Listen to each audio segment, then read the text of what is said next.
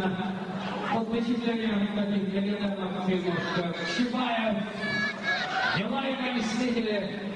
Эта песня называется. «Дух